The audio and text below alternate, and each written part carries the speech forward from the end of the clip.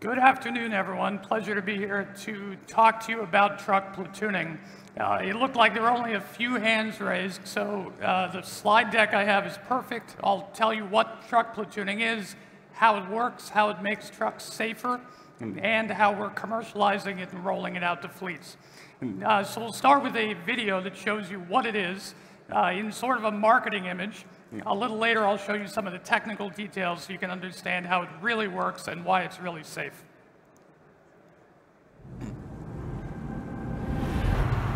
How's Emma doing? She misses you. I know. I'll be home soon.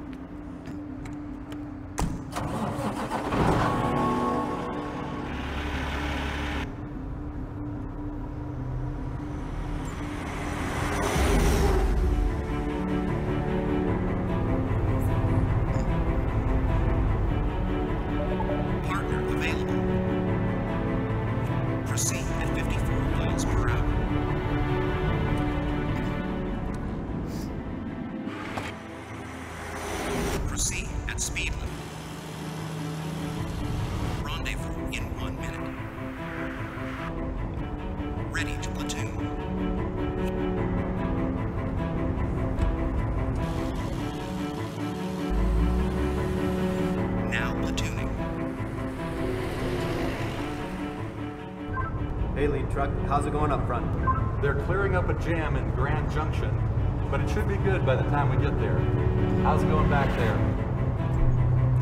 We got a challenger coming up on us real fast. Cut-in detected. All right, the challenger's exiting now. 10-4, where are you headed?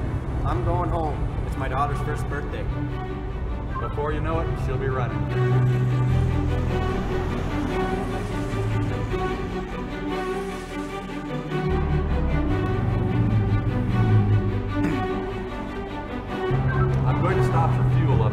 Sounds good. I'm gonna keep going. Stay safe out there. Thanks, I will. You too.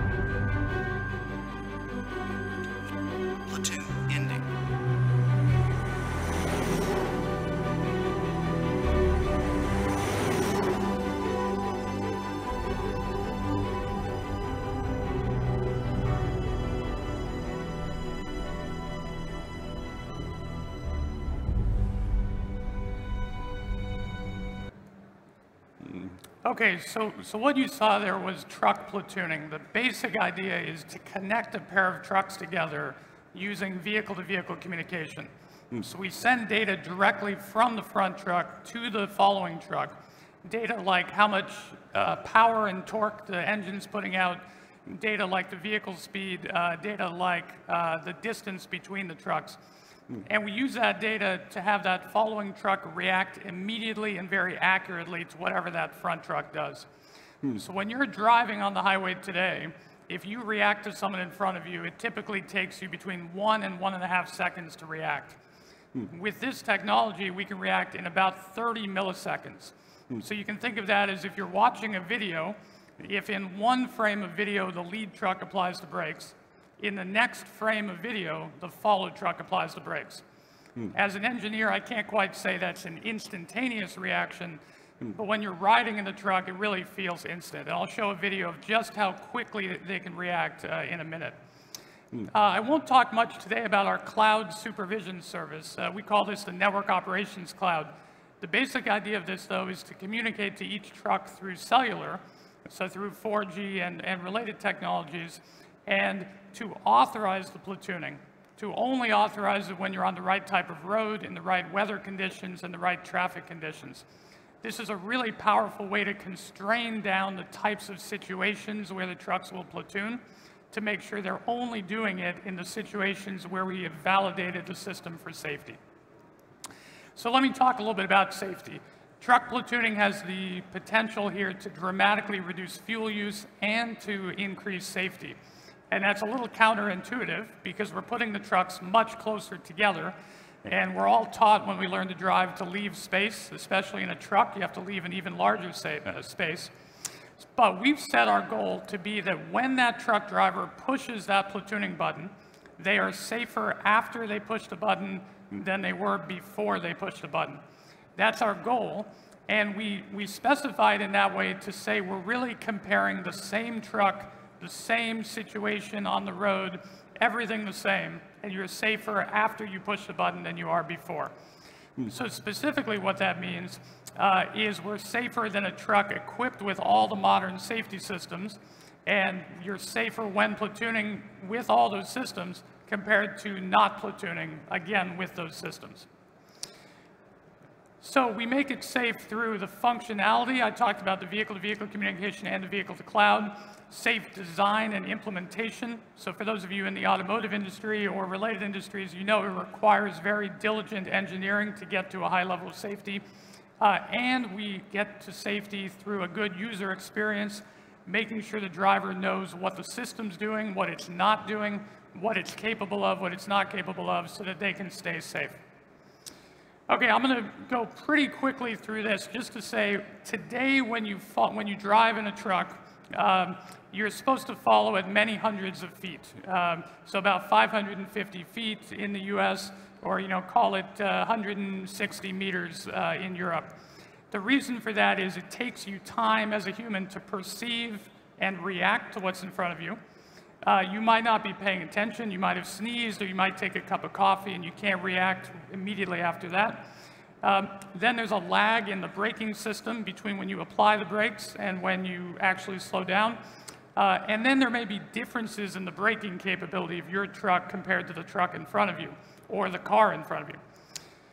I'm going to skip ahead here just based on time and say when we get to platooning, uh, in a second here, um, we dramatically reduce almost all those categories. So the purple block there is braking differences. There can still be some difference in braking between trucks, but the perception and reaction go down to nearly zero.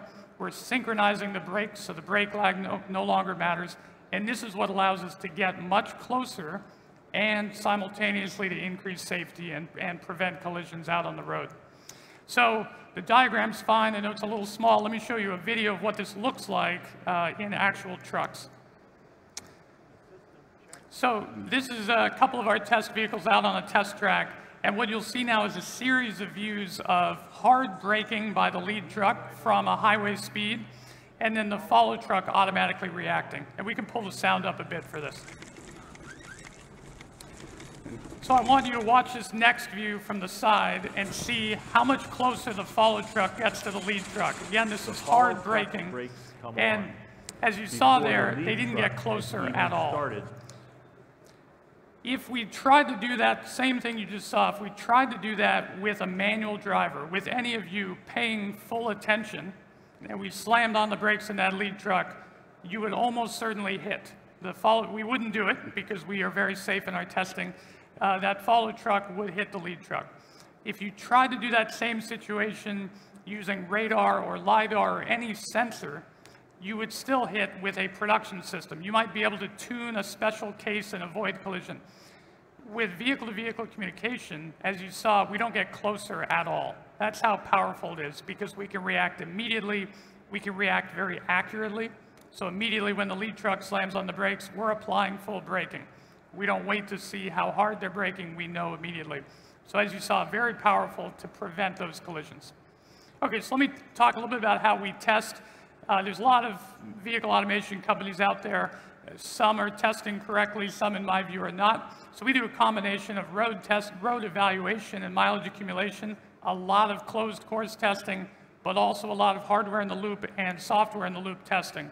All of this has to come together to get to a safety grade system like the one we've developed uh, for truck platooning. Uh, for those of you who are, are highly automotive, uh, we've done all this with ISO 26262, which is the, the ISO standard for functional safety. Uh, this is a very stringent process that a lot in the industry, a lot in the startup community of automation say, well, you can't possibly do this for a production system. I think what they really mean is it's very hard, but in my view, it's necessary, uh, or something equivalent to it is necessary. In, in this case, we chose ISO. Okay, so one question that often comes up is we've got that driver in the following truck. They're still steering for the system, but their feet are off the pedals and they can partially relax, right? So people ask, is that driver going to fall asleep? Will they get distracted? Um, you have to remember that with this type of truck platooning, the driver is still driving. They're still in command of their vehicle, they're steering, their eyes are on the road. Um, so one way I like to describe that is if you think about your head, your eyes, and your, your feet, well, normally your head is focused on the road, your eyes are focused on the road, your feet are on the pedals. With truck platooning, with our platooning system, all of that is still true, except your feet are off the pedals, right? So you're still doing most of the same driving task you had. You have the same stimulus of driving, of awareness of the road. You're now monitoring the platooning system. You get a video feed from the lead driver, and you're communicating with your partner, with the platooning partner.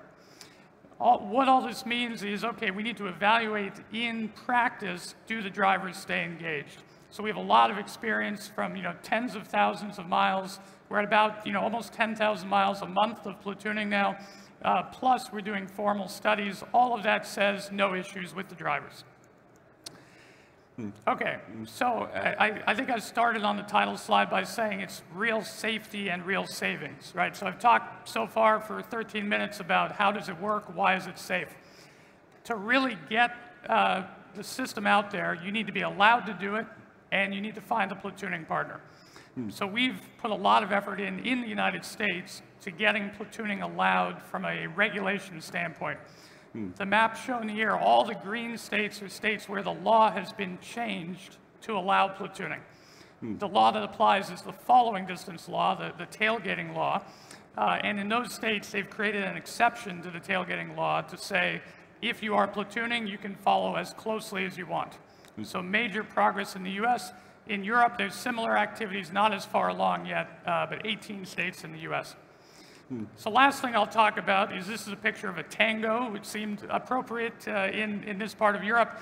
Um, and there's a saying, in, at least in the US, maybe in other countries, it takes two to tango, meaning you can't dance by yourself for a, a dance like the tango. Same thing with platooning. We need two trucks together to be able to platoon and get the benefit of platooning. In the long term, every truck out there will have platooning. They'll just find each other out on the road. Our system facilitates that. In, in, the short term, we're starting with fleets that have two trucks together today. They can just platoon within their fleet, no problem. They send two trucks out together, they platoon together.